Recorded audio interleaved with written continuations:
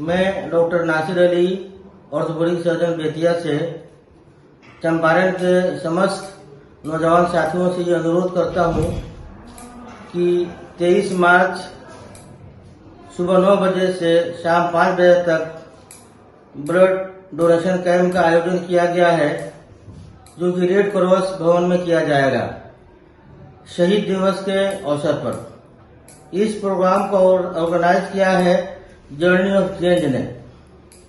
तो मुझे आपसे अनुरोध है, प्रार्थना है, आप सभी नौजवान साथी 23 मार्च को रेड क्रॉस भवन में आकर रक्तदान करें। रक्तदान महादान है।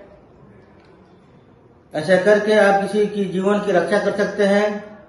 आप सभी इस शुभ काम में अपनी भागीदारी दें, जिसके लिए मैं आभारी रहूँगा। मेरा रंग दे बसंती चोला मेरा रंग दे बसंती चोला मेरा रंग दे बसंती